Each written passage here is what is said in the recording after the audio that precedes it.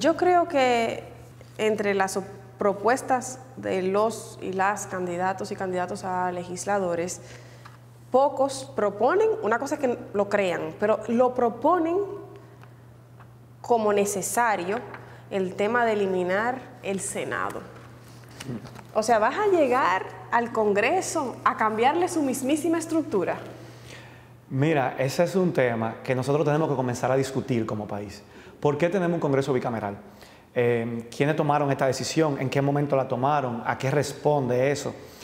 Eh, me parece importante introducir el debate. Yo estoy consciente de que esa es una decisión, es una decisión estructural del funcionamiento del Estado Dominicano y, de uno de sus principales poderes, o su principal poder, que es el poder legislativo. Eh, pero yo entiendo que introducir este tema en el debate electoral ahora, a propósito de las elecciones, hace que los demás candidatos tengan que, posicionarse al respecto. Y nosotros proponemos eliminar el Senado porque entendemos que en, la, en, la, estructura actual que tiene el Congreso Nacional, el Senado es sumamente antidemocrático. Hemos tenido ya, tanto a favor de ambos de los partidos mayoritarios, que han tenido un control absoluto del 90% o el 100% del control del Senado, cuando ha habido una oposición que ha sacado por encima del 40% de los votos y sin embargo esa oposición no tiene una sola voz en ese Senado. Por lo tanto, es una Cámara Legislativa muy antidemocrática que no, a mi entender, no añade un valor sustancial a la, calidad de la democracia y sin embargo tiene un costo anual de más de 2 mil millones de pesos. Y yo estoy consciente que la democracia debe tener un costo y que tenemos que estar dispuestos a pagarlo, porque es eh, digamos, el menos malo de los sistemas políticos con el que yo me identifico. Pero, pero tiene que tener una razón de ser que tengamos, que tengamos ese Senado. No le añade un valor adicional a la calidad de nuestra democracia. Y sin embargo tiene un costo que bien podría ser invertido en muchas necesidades, de muchas instituciones que sí son necesarias para nuestro país y que están financiadas por debajo de lo que debería estarlo, por ejemplo, la justicia. Hablando de costo, por ejemplo, barrilito, cofrecito, ¿Tienes una propuesta en ese sentido también? Sí, uno de los principales ejes, claro, de nuestra propuesta, de nuestra agenda legislativa, es trabajar por la institucionalidad y la justicia. Y dentro de ese eje, para poder defender la institucionalidad, nosotros estamos proponiendo, y es una propuesta que ha asumido Alianza País, em, que se eliminen del presupuesto del Congreso Nacional las partidas destinadas a ayudas sociales. En los últimos tres años, el Congreso Nacional, entre la Cámara de Diputados y los senadores, se han autoasignado más de 4 mil millones de pesos para repartir, para hacer clientelismo político. Eso es una distorsión de nuestra democracia, porque no es función de los diputados y los senadores em, regalarte una canasta en Navidad, una canastilla si tú das a luz, eh, regalarte útiles escolares cuando llega el inicio del año escolar en agosto. Eso no es función de los diputados. Los diputados tienen la función de asegurarse que cada una de esas áreas que estamos hablando de salud, estamos hablando de educación, de acceso a la educación, de acceso a la salud, estén garantizadas como derechos en el presupuesto público. Yo, por ejemplo, no puedo creer que un diputado un candidato a diputado que ande con una ambulancia, con su rostro, crea en la salud pública, crea en la salud como un derecho, cree en ofrecer como un favor personal a un ciudadano un derecho que le corresponde, pero se lo ofrece como un favor, esperando a cambio un voto, esperando a cambio un apoyo político.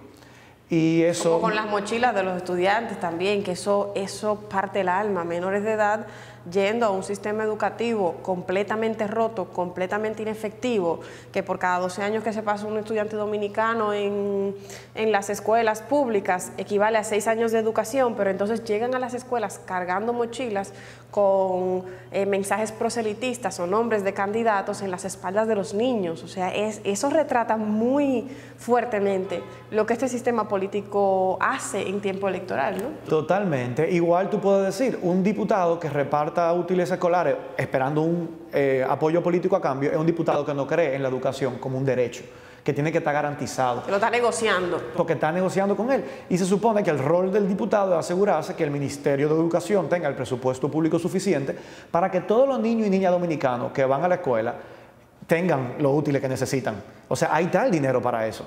Y que no tenga que pedírselo a un político como un favor, sino que le corresponde como un derecho.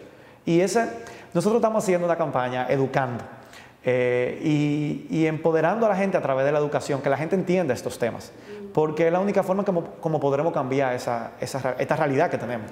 Esos serían dos eh, cambios importantes, por ejemplo, que propones para uno de los tres poderes del Estado, que es el poder legislativo, pero también presentas eh, propuestas acerca de ciertos cambios que tienen que realizarse al nivel de la justicia. Eh, tanto de la justicia que queda en manos del Ejecutivo como de la justicia que queda en manos del mismísimo Poder Judicial. En el caso del punto común que tienen, que es el Consejo Nacional de la Magistratura, propones una reestructuración. ¿En qué consiste? El Consejo Nacional de la Magistratura se reformó con el cambio constitucional del año 2010, que fue promovido por el expresidente Fernández. El Consejo Nacional de la Magistratura designa a los jueces de las altas cortes y ahí se agregó la figura del Procurador General de la República. Eso fue un retroceso en materia de independencia del Poder Judicial, porque el Procurador General de la República es un subalterno directo del Presidente de la República, que es nombrado y removido por el Presidente de la República cuando, cuando el Presidente quiera. con eso el Presidente se aseguró un voto adicional en el Consejo y además se aseguró, eh, si, tú, si tú te fijas, no solamente un voto, sino dos porque el, Consejo pasó de tener siete miembros a tener ocho. Y con ocho miembros se convierte en un Consejo eh, cuya membresía eh, tiene un número par. Y cuando hay una votación eh, que tiene, por ejemplo, 4 contra 4, que está dividida, 50-50, prevalece el voto del presidente del Consejo. Claro, porque vale el doble, se califica. Vale el doble, por lo tanto, el presidente de la República tiene tres votos en ese Consejo. Y en un sistema presidencialista como el nuestro, donde el el Congreso se elige el mismo día que se elige también el, presidente de la República. Lo que hemos tenido en los últimos años es que quien gana la presidencia también gana mayoría en el Senado y en la Cámara de Diputados. Por lo tanto, normalmente el presidente del Senado y la Cámara de Diputados terminan siendo del mismo partido del presidente de la República. Tú le añades esos dos funcionarios, más el procurador, con el presidente tiene cuatro votos seguros, más el voto del desempate. Por lo tanto, nosotros lo que estamos proponiendo es reestructurar la conformación de ese Consejo para asegurarnos que haya mayores niveles de consenso a la hora de elegir a los jueces de las altas cortes. Pero también estamos proponiendo que sea obligatorio que los jueces que se elijan sean jueces de carrera. ¿Por qué?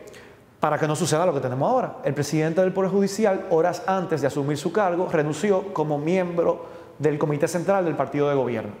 Un presidente del Poder Judicial que tres años antes fue jefe de campaña de un senador que ahora tiene que juzgar por casos de corrupción. Eso no permite garantizar la independencia del Poder Judicial. Y uno de los principales problemas que tenemos en la República Dominicana y que tenemos que combatir nuestra generación es los altos niveles de corrupción y este reinado de impunidad que ha prevalecido durante las últimas décadas y que sostiene a la clase política dominicana. Y para combatir eh, y terminar con ese reino de impunidad, tenemos que asegurarnos que la justicia pueda ser más independiente. Eh, eso pasa por lo que decimos, que los jueces sean de carrera. ¿Por qué? Porque una persona que ha agotado una carrera judicial, lo más probable, entró a los 20 y pico de años a formarse como juez. Y para ser elegible a la Suprema Corte de Justicia tiene que haber agotado una carrera judicial que lo hizo pasar por juez de paz, juez de primera instancia, juez de corte de apelación y quizá ya tiene 15 o 20 años de carrera judicial alejado de toda militancia partidaria. Porque quizá... Además, mejor juez, porque tiene experiencia juzgando. Tiene experiencia como juez. Y eso, lo que es igual para todos, no es ventaja para nadie. Eh, por lo tanto, quizá quien dentro de 10 años o quizá en la próxima elección gana la presidencia Alianza País, que es mi partido, también puede cometer excesos y quererse adueñar de la justicia. Entonces, aprobar este tipo de reforma asegura que ningún partido, no importa quién sea y cuáles sean sus principios o su vocación democrática o su compromiso con la justicia, no pueda terminar, cuando termina teniendo el poder absoluto, imponiendo su justicia y asegurándose que se mantenga este reinado de impunidad que tenemos. Hablabas en una, en, una locución en algún momento sobre dotar de mayor independencia ya no solo a los jueces, sino también a los fiscales, al Ministerio Público. ¿Cómo se haría eso? Bueno, empezando por quitarle la facultad que tiene el presidente de la República de designar eh, a su discreción al Procurador General de la República. Para eso hay que reformar la Constitución. Para todo lo que estamos hablando hay que reformar la Constitución, porque empezamos hablando de eh, ah, eliminar el Senado. Sí, exactamente. La recomposición del Consejo Nacional de la Magistratura también, conlleva una reforma constitucional. Pero estamos hablando de una reforma constitucional no pensando en ver qué es lo que ha prevalecido en las últimas reformas siempre, cómo se mantiene en el poder a quien está ejerciendo el poder, sino vamos a reformar la constitución para tratar de avanzar como país, para tratar de independizar la justicia, para tratar de eh, fortalecer la institucionalidad de la República Dominicana, para tener un Estado que funcione, para mejorar la calidad de la democracia. Esa reforma la necesitamos en este país. Eh, la última reforma que hubo, que se hizo, se reformó de manera completa la Constitución de la República, ni siquiera se sometió a referéndum popular y se modificó todo en esa, en esa Constitución, se modificó el texto constitucional completo. La de 2010. La del 2010. Pero no había referéndum popular en la anterior, bajo la que se regía ese proceso de reforma. Sí, pero la anterior lo que decía era modalidades de cómo reformar la constitución, no de cómo dotar al país de una constitución nueva, que fue lo que se hizo. Mm. Eh, hubo reclamo en ese momento de diferentes actores de la sociedad que decían, bueno, pero ¿por qué tú, haces una reforma totalmente nueva? Y tú dices que para modificarla en un, en un, futuro, diferentes aspectos estructurales de la constitución, se necesitará un referéndum. Ajá, pero tú estás modificando aspectos estructurales del Estado y no lo estás sometiendo a referéndum. Yo creo que eso puso en evidencia el refajo del liderazgo político que demostró no ser un liderazgo democrático realmente.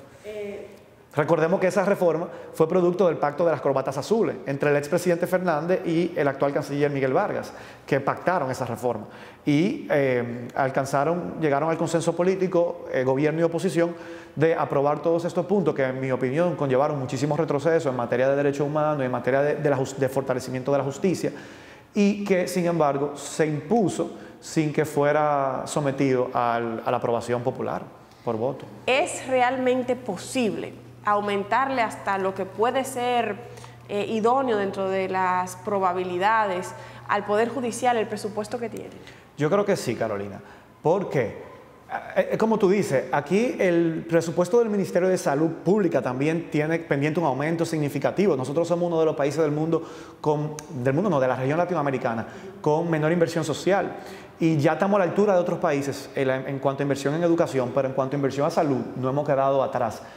Eh, y entonces tú dices, bueno, quizá la salud es prioritario que la justicia. Anda en el 2 o en el 3%, ¿no? Eh, no pasa del 2. No pasa del 2. Eh, 2.1 es lo más lejos que ha llegado, en otro año ha sido 1.8 o 1.9. Pero en cuanto al sector justicia, la ley establece que debe andar por el 2.66% del presupuesto. Nosotros tenemos un presupuesto del Ministerio de la Presidencia totalmente abultado. Es el tercer ministerio con mayor presupuesto después de Educación, Em, salud y obras públicas andan por ahí. Y entonces eh, está entre los primeros cuatro, cuatro ministerios con mayor presupuesto. Pero tú te pones a revisar las partidas. Primero, ahí hay un margen de discrecionalidad enorme del presupuesto del Ministerio de la Presidencia. Y segundo, el Ministerio de la Presidencia tiene partidas para trabajar áreas que están relacionadas con todos los otros ministerios. El, el Ministerio de la Presidencia tiene programas de la Presidencia que debería manejar el Ministerio de Medio Ambiente como lo que tiene que ver con Quisqueya limpia y el manejo de los desechos y residuos sólidos. Es un presupuesto que debería estar asignado en medio ambiente, porque hay un ministerio para trabajar esos temas. Entonces también tú tienes que el Ministerio de la Presidencia tiene asignado un presupuesto para... Eh, o sea, tiene presupuestos duplicados, por ejemplo, la OISOE. Ese es un presupuesto que debería... Oficina de Ingenieros Supervisores de Obras del Estado. Exacto. Es un presupuesto que no debería existir y que es una dependencia del Ministerio de la Presidencia. Y las partidas presupuestarias están dentro del Ministerio de la Presidencia, pero que ese presupuesto eh, debería estar asignado, por ejemplo, a, obras públicas. O sea, hay una duplicidad de funciones dentro del Estado, que si tú te aseguras que esa duplicidad de, de funciones se elimine, no alcanzaría el presupuesto para asignarle a justicia lo que amerita. Además, los 2.500 millones de pesos que se le asignan y que nos cuesta el Senado de la República, bien podrían servir para asignárselo al, Poder Judicial y asegurarse que un Poder Judicial que tiene que ofrecerle a los 10 millones de dominicanos el derecho a la justicia en los 158 municipios del país donde, se, donde hay tribunales, en todo el territorio nacional, con una carga altísima, no se justifica que el presupuesto del, Congreso Nacional eh, esté por encima o, muy cercano al, presupuesto del Poder Judicial. El Poder Legislativo solamente tiene una sola sede, solamente tiene 222 representantes. Su función es legislar, fiscalizar y representar. No tiene que ofrecer servicios directos al pueblo, repartido y distribuido en los 158 municipios del territorio nacional. Entonces, ¿por qué?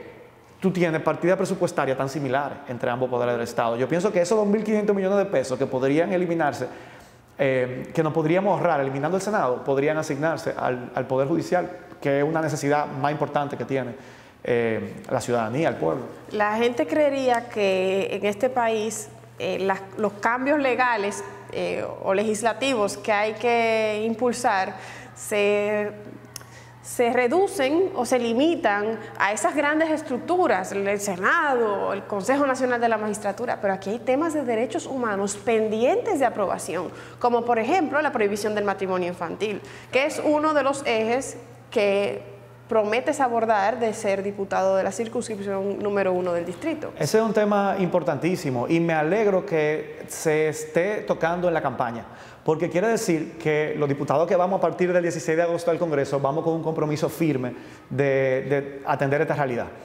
Em, es una realidad muy fuerte, muy dolorosa. La mayor parte de este matrimonio infantil es un matrimonio de, hecho. Es un matrimonio de hecho porque en la mayoría de los casos no se formaliza eh, a través de la ley, de, la formalidad en la oficialidad del Estado civil. Pero la República Dominicana se permite que a partir, se, se considera el sistema judicial que a partir de los 13 años las niñas ya pueden dar su consentimiento. Con el permiso de los padres a partir de los 15 años, pero desde los 13 años el sistema judicial acepta que puede dar el consentimiento. Y vemos casos horrorosos como lo que acabamos de ser testigo en el país a inicios de este año de la niña Janacy que su madre quedó embarazada por primera vez a los 14 años de un hombre de 61. ¿Dónde estaba el Ministerio 51, Público? 51 creo que era, sí. De 51, ahora que ahora tiene, tiene 60. Ahora tiene 60, pero tenía 51. ¿Dónde estaba el Ministerio Público en ese momento? Porque ese es un delito de acción pública, eso se llama seducción de menores. Es lo que te decía, a los 14 años, si no fue mediante coacción que tuvieron esa relación, si no fue mediante violencia, o sea, si, digamos, la niña accedió y consentió sin, sin ejercer... Eh, eh, sin poder, porque es una niña. Sí, pero ese es el problema. Yo entiendo que eso debería estar tipificado como una violación. sin embargo, nuestro código no lo considera violación, sino que lo considera seducción de menores. Y nosotros tenemos que ser más drásticos. Mira, que yo en general no creo en que el problema suele estar en el código. Yo creo que nosotros tenemos leyes que el problema es que no se cumplen. El problema es que no se, no se investigan. El Ministerio Público, ¿qué hizo? Desde que un hospital recibe a una niña de 14 años embarazada, yo creo que tiene el deber moral de investigar quién es el padre. Y si se considera, y si se verifica o se, se constata que el padre es una persona mayor de edad que le lleva, le, quintuplica la edad, casi, le cuatruplica la edad, debe automáticamente informar al Ministerio Público de esa, de esa demarcación para que el Ministerio Público, ese es un delito de acción pública, actúe de manera inmediata y podamos así como sociedad impedir que eh, casos como estos. O sea, y, y, que esa niña pueda, en lugar de convertirse en madre cuando tendría que estar estudiando y preparándose y formándose, cae a partir de ahí un círculo de la pobreza, porque ya no puede continuar sus estudios, ya entonces es dependiente de otra persona y tiene una persona que depende de ella, tiene que comenzar a trabajar, tiene, o sea, ahí se va produciendo un círculo de la pobreza donde se hace sumamente difícil que esta niña pueda salir adelante y pueda ser una persona productiva, útil en la sociedad, feliz, que es lo que al final del día queremos. Em, ese es uno de nuestros compromisos, Caro. Y, qué bueno, me alegro mucho que en esta campaña electoral ese tema se está poniendo sobre el debate e invitar a la ciudadanía que averigüe cuál es la posición de los candidatos por los que piensa votar con relación a esos temas. Porque hay muchos diputados que se están tratando de reelegir ahora mismo y que se han negado a, desde el Congreso Nacional. Que han votado en contra, de hecho. Que han votado en contra y se han negado de la prohibición. a aprobar la prohibición. Yo, yo creo que si, una, si un ciudadano o una ciudadana no tiene tiempo para investigar a fondo todas las propuestas de los candidatos, que use eso como límite mínimo, como límite mínimo para determinar de aquí hacia allá, por esa gente no se puede votar. Ese y otros temas, otros temas que son parte de nuestro eje. Me imagino que por ahí hablaremos, por ejemplo, el tema del medio ambiente. Ese es un tema importantísimo que lo, con, todo el que tenga conciencia con relación a esos temas debería averiguar qué piensan los políticos que están tratando de pedirle su voto sobre esos temas. Em, son temas básicos, fundamentales. ¿Crees realmente que tiene un costo político electoral apoyar a las mujeres? ¿Crees que es inviable ser candidato y apoyar el derecho de las mujeres? Yo creo que no, yo creo que es más el miedo que existe de asumir una posición de frente y firme que el costo real. Mira, no te voy a decir que no lo tiene. Yo me he encontrado con gente que me dice, mira, a mí me encantan tus propuestas. Yo creo en lo que tú hablas sobre el tema de la justicia, sobre el tema del medio ambiente, me identifico mucho con todo lo que tú propones para nosotros tener y disfrutar una ciudad eh, más vivible eh, y los temas que tú hablas sobre seguridad ciudadana, pero en eso yo no estoy de acuerdo contigo y ya por eso yo no puedo votar por ti. Sin embargo, yo por eso no puedo dejar de decir lo que creo y, dejar de defender lo que yo creo justo. Em, y yo creo que a nosotros nos hacen falta como país muchos más dirigentes políticos que, que piensen así, sincero. De José Horacio tú no vas a esperar hipocresía ni eh, no va a defender cosas en las que no cree. Entonces, em, al final yo digo, mira, más te vale tú al final tener un representante que tú sabes lo que piensa, que alguien que puede terminar siendo hipócrita y que por miedo no dice lo que de verdad cree o no se atreve a defender la cosa en la que cree. Porque eh, tú crees que hay muchos legisladores y legisladoras que sí creen en las tres causales, pero no lo dicen. Mira, yo soy militante de este tema no desde ahora. Yo en el año 2009, cuando se estaba en el proceso de reforma constitucional de 2010, me movilicé en contra del que en ese momento era el artículo 30, que ahora quedó como artículo 37, porque entendía que eh, representaba una dificultad para garantizar los derechos a la salud y a la vida de las mujeres y a la dignidad.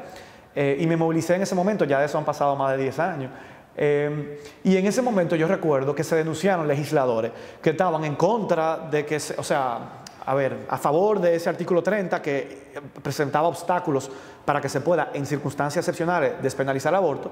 Sin embargo, no en circunstancias como esa, sino simplemente por decisión propia, habían llevado a chicas, mujeres que habían dejado embarazadas a hacerse un aborto y lo habían promovido. Entonces tú dices, ok, qué bonito el discurso, tú quieres que sea ilegal. Ellos no creen eso. En resumen, ellos no creen, no creen, lo que dicen en el hemiciclo. Tú crees que sea ilegal, pero tú no estás dispuesto a cumplir con la ley. Entonces, si algo yo he aprendido, los legisladores no deben aprobar leyes que no están dispuestos a cumplir. Y si yo entiendo que, yo, que es injusta una ley, que yo, por ejemplo, si mi hermana es violada eh, en una situación terrible, que espero que nunca suceda, y queda embarazada, yo no la voy a obligar a, eh, o sea, a obligar a ella a decir, y a juzgarla si decide interrumpir ese embarazo. Si lo decide llevar adelante, la voy a apoyar. Creo que tiene el derecho de hacerlo. Si decide interrumpirlo, también la voy a apoyar. Creo que tiene el derecho de hacerlo. Son circunstancias extremas. Y, yo creo que cada quien, nosotros tenemos que promover una sociedad donde cada quien pueda vivir en base a sus valores y a sus eh, creencias. Y que bien yo te respeto la tuya, si tú crees lo contrario, pero que si yo ejerzo como yo creo, no se me deba meter preso por eso. Eso es lo que es tan sencillo como eso. Propones también una licencia de paternidad extendida. Claro. Amén.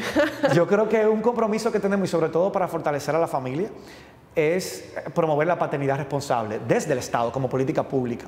Y si queremos promover la paternidad responsable, tenemos que promover que hombres y mujeres tenemos eh, el entendimiento de que dentro del hogar, hombres y mujeres tenemos las mismas responsabilidades en el cuidado y la crianza de los hijos. Y, por eso yo creo que eh, ya tenemos que hablar de que no puede ser posible que el código de trabajo al día de hoy solamente contemple dos días para un hombre que tenga un hijo. el mensaje que le dice el Estado a la sociedad es claro, la, la, responsabilidad del cuidado de la primera infancia es una responsabilidad de la madre. Tú como padre no tienes que estar. Tu rol nada más es proveer, proveer económicamente. Pero no, yo pienso que para tener familia más fuerte, familia más sólida, el Estado debe promover también eh, esa crianza compartida y una de estas medidas es, mediante ley, esa es una de las primeras propuestas que presentaremos en el Congreso, eh, la extensión a por lo menos 21 días, que sería el equivalente a un mes de licencia de paternidad. 21 días laborables. 21 días laborables, exacto. Y que los padres puedan estar presentes en el hogar eh, en esa primera etapa de el cuidado de un recién nacido en la sociedad. Eso es una iniciativa que sería a favor de los derechos naturalmente de los trabajadores, porque es una licencia del trabajo. En ese sentido también hay una propuesta, y lo digo porque seleccioné las propuestas con las que me sentí identificada con todas, para serte sincera, pero con las que sentí mayor urgencia, eh, que era el tema del salario mínimo. ¿Cómo lo vamos a resolver? Porque déjame decirte que de todo lo que tú propones, lo que tiene mayores grupos de interés eh, difíciles de, enfrentar es el tema del salario mínimo, porque la gente cree que la clase política es lo peor que hay aquí, pero aquí hay una clase empresarial con una falta de compromiso país inmensa. Sí. Mira, eh, yo pienso que el principal problema de la República Dominicana es la desigualdad social y la pobreza que tenemos. Y en gran medida se debe a... No, no hay un Estado, no hay un Estado que proteja a esa clase trabajadora, eh, que sea garante de sus derechos. Eh, tenemos un Estado que el propio Estado paga salarios de miseria. O sea, aquí hay policías que ganan 8 mil pesos mensuales. Y cuando la canasta básica familiar está valorada cerca de los 30 mil pesos según el Banco Central, ¿qué tú le estás diciendo a ese policía? ¿Cómo va a completar los 22 mil pesos que le faltan para completar esa canasta básica familiar? Tú le estás dando rienda suelta a ese policía para que se busque eh, los 22 mil pesos que le falta en la calle, macuteando, o sea, extorsionando. Digo, ¿qué otra alternativa tú le das? Cuando el policía se está arriesgando su vida. Nosotros tenemos que comenzar a revisar eh, los salarios que pagamos en la República Dominicana. Otros países de la región han logrado hacerlo sin desestabilizar la economía, porque siempre lo que se dice es, ah, no, tú aumenta el salario mínimo y eso genera inflación. Vamos a ver qué pasó en Bolivia. En Bolivia se logró aumentar sustancialmente el salario mínimo real y eso no provocó una crisis económica ni una desestabilización de la economía. Entonces vamos a revisar qué han hecho esos países, cómo eso funcionó. Y ninguna persona debería ganar menos del 50% del valor de la canasta básica familiar como punto de partida, la aspiración a que el salario mínimo sea equivalente a la canasta básica familiar. ¿Por qué? Porque así tú tienes asegurado que dos personas que trabajan en un hogar pueden por lo menos cubrir la canasta básica familiar que le asegura vivir con dignidad. Esa es la propuesta que nosotros estamos, estamos, planteando. En el eje de derechos humanos, que es más o menos el que venimos tratando desde hace unos minutitos, hay también una ley antidiscriminación que abarca, porque aquí se discrimina por, por todo. Por todo. Esa es una, bueno, yo debo decirte que yo, yo he sido, esa es parte de mi formación. Yo eh, como abogado me he especializado en temas de derechos humanos y le he dedicado mi trabajo profesional los últimos años a la defensa eh, de los derechos humanos. Y por eso eso forma parte de mi compromiso, son de las cosas en las que creo, de corazón. Y hay un proyecto de ley que ya existe, que es una ley general de igualdad y no discriminación. Nuestra constitución consagra en el artículo 39 el derecho a la igualdad como un derecho. Pero si no hay un marco legal que lo desarrolle y que establezca sanciones concretas y específicas cuando ese derecho se vulnera y se viola, pues entonces no estamos en nada ese derecho no se hace efectivo. Y, ese, y esa ley contempla diferentes áreas en las que eh, se viola ese derecho, por ejemplo, en el ámbito laboral, en el ámbito de acceso al derecho a la salud, en el ámbito de acceso al derecho a la educación, eh, los diferentes ámbitos en los que los derechos suelen violarse, violentarse, ese derecho a la igualdad, y también los diferentes grupos que suelen ser objeto con mayor frecuencia de trato diferenciado, de discriminación, y los identifica para protegerlos. Ahí estamos hablando de, bueno, de las mujeres, de la infancia, de las personas con discapacidad, de la comunidad LGBT, de incluso la población migrante y sus defendientes. Son temas controversiales, pero tenemos que tener un compromiso como Estado de asegurarnos que lo que está en nuestra Constitución se cumpla. Y esta ley lo que viene es justamente a garantizar, establecer sanciones cuando se viola ese derecho para que para que no sea simplemente una letra bonita sobre el papel. Yo quiero que tratemos más adelante uno de los asuntos que mencionabas acerca del medio ambiente y la ciudad, pero ahora que hablabas de tu formación eh, académica, y yo sé que era en el sentido académico, conecté con tu formación familiar. Quien no te conoce, quien no sabe, no sabe quién eres, puede no saber por qué se le ocurre la política a José Horacio. ¿Por qué se le ocurre la política, José Horacio? Mi papá y mi mamá nunca han sido militantes políticos, ni tampoco en ningún partido. Pero sí yo vengo de una historia familiar que nos marcó. Mi papá nace en el exilio, en Venezuela, de padres dominicanos exiliados, que eran combatientes de la dictadura. De hecho, mi papá queda huérfano a los seis años, porque mi abuelo, su padre, que yo llevo su nombre, era comandante de uno de los comandantes de la expedición de Constanza Maimón Estero Hondo. Vino en una embarcación por Maimón en el año 1959. Y del lado materno también, mi abuelo estuvo preso en la cárcel de la 40 y fue torturado por desde aquí también como joven combatir el régimen de Trujillo. Y eso de alguna manera nos marcó a mí a mis hermanas y mis primos, eh, donde crecimos en un hogar donde siempre se estaba discutiendo sobre la necesidad de mejorar la democracia, de defender los derechos, de asegurarnos que eso que nos costó tanta... A, mi familia le costó sangre, eh, no sea algo que sea banalizado, que no sea algo que permitamos que, se revierta, que volvamos, que retrocedamos, que lo perdamos. Eh, y, y, eso de alguna manera nos marcó. Nosotros crecimos en un hogar donde siempre se debatían estos temas. Yo recuerdo chiquito, en el año 94, yo tenía seis años, un, mi papá y mi tío hicieron un spot. En ese momento se estaba discutiendo un aumento general de los salarios de los maestros. El presidente era Balaguer. Y había un debate en la sociedad, parecido a lo que fue en el año 2010, por ejemplo, la lucha de la sociedad por el 4% para la educación. En el, en el año 94 se estaba discutiendo sobre el aumento general de los salarios de los maestros. Y el gobierno estaba en contra, el gobierno de Balaguer no estaba de acuerdo, pero la oposición, que en ese momento eran el PRD y el PLD, estaban a favor. Pero a la oposición le faltaban dos votos en la Cámara de Diputados para poder aprobarlo. Y en ese momento mi papá y mi tío hicieron un videito que yo lo subí a mis redes, que habla sobre un diputado, como en su casa sus hijas le decían, papá, vota por los maestros. Eh, eso es, un tema justo. Yo le he dicho a mi, a mi maestra que tú eres diputado y que tú vas a votar a favor de ellos, ¿verdad que sí? Y entonces se ve entonces él cuando llega a la Cámara eh, reflexionando, como pensando en lo que le dijeron en su casa, y hace así y dice, ahora lo que tenga a favor del aumento, que levante su mano. Y él hace así, levanta la mano. Y le dice al compañero de su curul, le dice, pero tú estás loco, tú vas a desobedecer la línea del partido. Y él le dice, pero ¿qué partido ni qué línea? A nosotros nos eligió el pueblo y el pueblo está pidiendo esto y nosotros tenemos que representar a ese pueblo. Entonces, eso, yo tenía seis años y eso de alguna manera nos marcó. Nosotros hemos tenido diputados que uno no siente que sean verdaderos representantes del pueblo. Uno siente que son diputados que responden o representan la cúpula de unos partidos, determinados caudillos, sus intereses. Intereses económicos también. De una élite económica que, que, financia sus campañas y que le permiten llegar y ocupar esas posiciones. Por eso es importante que nosotros estamos haciendo una campaña que es solamente financiada por la gente. Eh, aporte ciudadano. Los ricos no te dan dinero. Bueno, podrán hacer un aporte específico, pero nosotros no recibimos aportes empresariales, ni tampoco recibimos eh, aportes nosotros por las redes sociales estamos informando y transparentando todos los aportes que recibimos. Amigos que me llaman, a mí me da un orgullo grandísimo, que me llaman, eh, yo tengo años sin verlo, que estudiaron conmigo en la universidad, mira, yo te quiero hacer un aporte a tu campaña y yo veo una transferencia de 2 mil, de 5 mil pesos. Y así es como estaba financiando esa campaña, otro que me han dicho, yo te voy a hacer un aporte mensual de mil pesos. Y al mes de, enero nosotros hemos recaudado casi un millón de pesos desde julio que comenzó la pre-campaña del año 2019 con pequeño aporte, con gente que se suma porque cree en este proyecto, porque está consciente de que si nosotros seguimos permitiendo que la política sea como ha hecho siempre, va a representar los intereses de una minoría, de una élite empresarial o de unos caudillos o de la cúpula de unos partidos políticos que son los que no han gobernado siempre. Si queremos cambiar aquí la lógica de a quién obedece el poder, nosotros tenemos que usar el poder que tenemos en febrero y en mayo para elegir gente que represente nuestros intereses, que esté de acuerdo con las ideas en las que nosotros creemos, con los valores que nosotros compartimos, con los principios, con las propuestas. Y esa es la forma como podemos cambiar este país. Y ese es el reto que tenemos, Carolina, nuestra generación.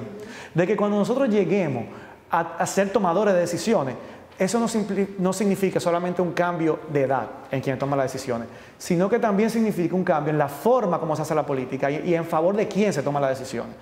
Y con eso es que yo estoy comprometido. Y eso es lo que me ha llevado a mí, me ha impulsado a mí y a toda la gente que me acompaña a asumir esta candidatura. Y estamos trabajándola para ganar. Y para eso contamos con el apoyo de, esa ciudadanía crítica, de esa ciudadanía consciente, de esa ciudadanía educada. Y por eso hacemos campaña educando. Mira, José Horacio, nos estamos comiendo el mundo, en el mal sentido. Nos estamos comiendo el mundo y la gente cree a veces que se necesita una gran solución, que venga casi como que caiga del cielo y, no, no sé, salve los océanos y salve el mar y salve la tierra, pero a nivel municipal y a nivel de ciudad, siendo la principal ciudad de Centroamérica y el Caribe, hay algo que se tiene que poder hacer. ¿Cuáles son las propuestas en ese sentido que mencionabas anteriormente? Mira, es urgente que aprobemos eh, las leyes sectoriales en materia de medio ambiente. En el año 2000 ah, logramos aprobar la Ley General de Medio Ambiente y esa ley contempla una serie de leyes sectoriales eh, como la ley de manejo de desechos y residuos sólidos, como la ley de aguas. Eh, hasta ahora solamente ha podido ser aprobada la ley de parques nacionales y áreas protegidas y está bajo amenaza constante. Ahora vemos el Parque del Este, cómo está haciendo, se acaba de aprobar la autorización de, eh, dentro de un área protegida, la construcción de un superhotel. Entonces, em, nosotros tenemos que ya, es una ley que tiene años en discusión en el Congreso y por dos temas específicos no ha podido ser aprobada, la ley de manejo de desechos y residuos sólidos Em, uno, lo que tiene que ver con la responsabilidad que tienen las empresas productoras de plástico, que tienen que tener una responsabilidad social, que tienen que asegurarse de cuál es el fin último que se le da a esos plásticos. Por ese tema y por el tema de la sustitución eh, gradual de los plásticos de uso único, esa ley no ha podido salir del Congreso. Em, tiene más de una década en discusión. Nosotros vamos con el compromiso firme y la voluntad de que esa ley termine de aprobarse, incluyendo esos dos aspectos, porque si no fuera por esos dos aspectos ya se hubiera aprobado. De nada habremos, nada habremos hecho si logramos aprobar la ley, la ley de manejo de desechos y residuos sólidos si no incluye la responsabilidad social que tienen las empresas productoras de plástico y eh, la sustitución gradual de los plásticos de uso único. Esta es una situación que tenemos que atender. Em, es insostenible a largo plazo el manejo que estamos haciendo de, nuestros ecosistemas, del cual nosotros formamos parte. nosotros somos el, octavo país del mundo más vulnerable al cambio climático. Y como país, no, como país no estamos haciendo nada para detenerlo. El octavo. Estamos entre los 10 países del mundo. Esto es según informe científico de Naciones Unidas. El octavo país del mundo más vulnerable. Eh, aquí hay gente que cree que quizá dentro de 40 años, si no se hace nada, nosotros podemos ser todos los dominicanos refugiados eh, climáticos. José, Horacio, o sea, de los casi 200 estados que hay en el planeta, Estamos en el top 10. En el top 10. De los más vulnerables. De los más vulnerables. ¿Por qué? Por nuestra condición de ser un estado insular, eh, ser una isla, por nuestras condiciones de pobreza eh, compartida, porque nosotros lo que pasa en los ecosistemas y a nivel climático no afecta nada más a la República Dominicana, nos afecta como isla completa. Y es una isla que cuando tú analizas su población... La naturaleza no tiene que ver con, no tiene que ver con frontera, política, exacto. Y cuando, y cuando tú analizas como isla eh, la cantidad de habitantes que hay y las condiciones en las que vivimos y cómo manejamos y gestionamos eh, los ecosistemas, el manejo de la basura, las emisiones de carbono, el calentamiento global nos va a impactar más que a todos esos otros países que tú mencionaste, que son casi 200. Eh, ¿Y nosotros qué estamos haciendo? El compromiso que asumimos con la firma del Acuerdo de París en el año 2015 de eh, reducir las emisiones de carbono, nosotros como país hemos hecho todo lo contrario. Construimos una planta de carbón que lo que han hecho es aumentar a través de Punta Catalina. Y eso de alguna manera nos resta calidad moral para exigirle a los grandes eh, países emisores de dióxido de carbono que aceleran el cambio climático que vayan sustituyendo su matriz de generación de, de energía, que tomen acciones significativas para detener el rumbo del cambio climático. Con el derretimiento de los glaciares, nosotros vamos a perder muchas tierras costeras y nosotros somos una ciudad que queda frente al mar. Nosotros vivimos de un turismo que se beneficia del turismo de sol y playa frente al mar. El sargazo que hemos visto que afecta, Punta, que afecta mm, la región este, Punta Cana, es también consecuencia de, esta inestabilidad ambiental y del cambio climático. Eh, porque son emisiones que están contaminando los océanos y que están produciendo de manera masiva este sargazo que viene del Amazonas y que viene también de África. Entonces, todo eso va a tener un impacto sobre, sobre la República Dominicana y nosotros tenemos que adoptar las medidas necesarias para asegurarnos también la generación, nosotros estamos perdiendo biodiversidad como país y esas son políticas que el Ministerio de Medio Ambiente tiene que asegurarse de mantener. ¿Dónde está la biodiversidad en nuestros parques nacionales? ¿Qué está pasando con otros parques nacionales?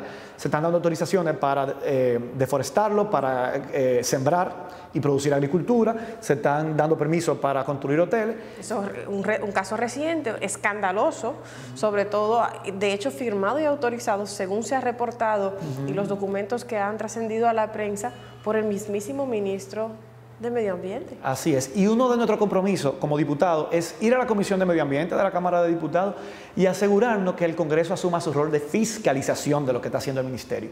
Porque el rol de un congresista no solamente propone leyes y que esas leyes se aprueben, es asegurarse que esas leyes que ya se aprobaron se estén cumpliendo y que las autoridades encargadas de hacerla cumplir estén haciendo su trabajo. Y nosotros tenemos una ley general de medio ambiente que es violada todos los días, un ministerio que se tiene que encargar de hacerla cumplir y un Congreso cómplice porque no se queda callado y no dice nada.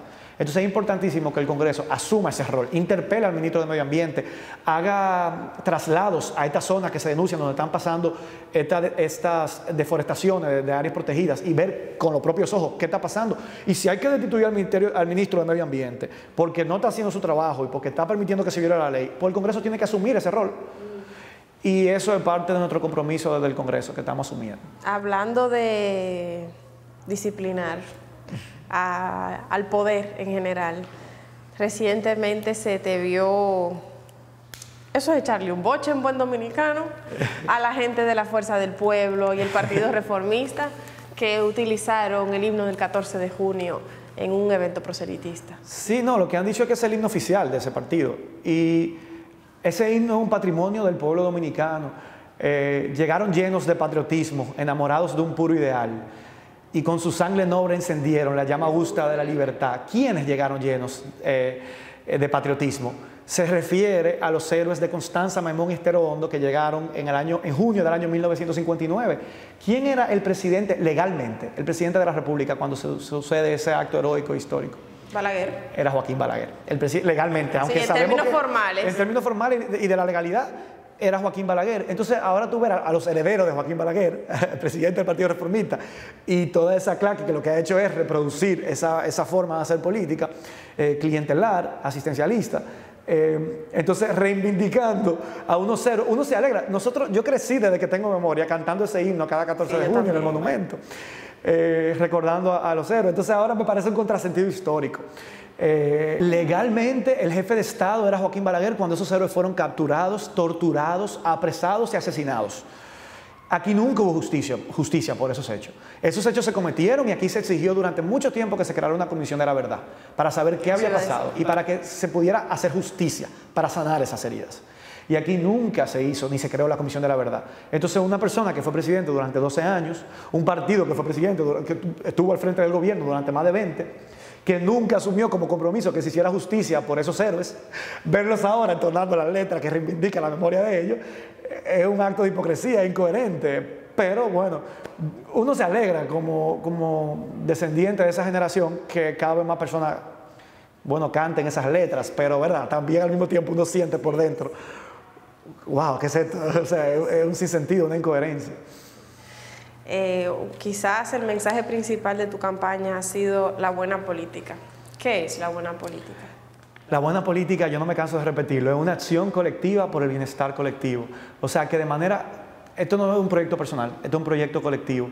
Eh, quienes están participando lo hacen de manera voluntaria porque creen en esto. Quienes están financiando no están esperando nada a cambio, no están esperando que, que, que yo gane para después decirme lo que yo tengo que hacer. Lo hacen porque creen que nosotros podemos construir juntos un país con mayores niveles de justicia, con mayores niveles de equidad, que nuestros representantes estén defendiéndonos, estén velando por nuestros intereses, que no estén, como dijimos, respondiendo a una élite económica o política o empresarial.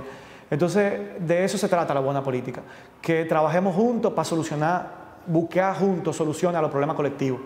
Em, y la buena política educa, como hemos dicho, nosotros estamos haciendo esto a través de, yo digo, nosotros, esta campaña es un ejemplo de pedagogía política.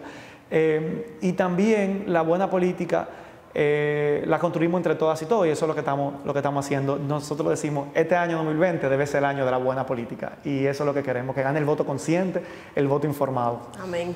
Mira, eh, José Horacio, en el sector profesional, por decirlo de alguna manera, en el que me desempeño, sobre todo cuando se trata de hacer un trabajo independiente de los partidos y de las contiendas electorales eh, y de los intereses políticos, partidarios. Hay mucho, mucha reserva para manifestar apoyo a candidatos de cualquier, de cualquier nivel, es decir, de diputación, de senaduría, de alcaldía, de presidente, a nivel presidencial. Y yo eso lo comprendo porque los políticos nos han dado muchas desilusiones y yo sé que eso eh, tú lo sabes también. Entonces apoyarlo hoy, luego arrepentirse mañana y que eso ande por ahí eh, es duro y también que la gente dude de la independencia de la persona que ocupa, ejerce la función de comunicar o alguna, alguna función relacionada con el periodismo, eso también genera como preocupación. Pero a la vez, para mí, genera una, como una crisis existencial un poquito, porque si nos seguimos manteniendo tan al margen que no podemos ni apoyar a candidatos que sabemos que valen la pena, eh, que defienden las mismas causas que, que una, entonces uno dice, al final ganaron los que uno no quería que ganara, pero nadie les alertó. Entonces ese debate siempre está dentro de la gente que está de este lado, ¿verdad? De la política, por decirlo de alguna manera. Pero yo quiero que tú sepas que yo estoy de acuerdo con todas, y eso es muy raro, y cada una de las propuestas que presentas. Que si tú estás en el Congreso representando mi circunscripción, yo puedo dejar de seguir tan minuciosamente los debates en el hemiciclo porque por quien yo voté, y quien llegó ahí a representarme realmente piensa lo que yo pienso del Consejo Nacional de la Magistratura, lo que yo pienso de los derechos de las mujeres, lo que yo pienso de los derechos de los niños, lo que yo pienso del derecho a la paternidad, lo que yo pienso de la distribución equitativa de los roles eh, en el hogar y en el mundo profesional, lo que yo pienso en términos históricos, lo que yo pienso, es mucho, es mucha identidad. Eh, es casi una representación total y eso es muy, eso es muy difícil encontrarlo. Entonces quiero cerrar la entrevista como no creo que cierre ninguna otra y como muy probablemente y como definitivamente nunca he cerrado otra, diciéndote que uno, que voy a votar por ti, y dos, que creo que la circunscripción número uno encuentra una representación real en tu candidatura. Y yo te agradezco haber dado el paso. Yo te agradezco a ti, Carolina, y eso simplemente sigue afianzando mi compromiso para seguir haciendo el trabajo que tanta falta le hace a la República Dominicana. Hace falta, hace falta. Así que gracias doble por la entrevista y por tus propuestas. Gracias a ti.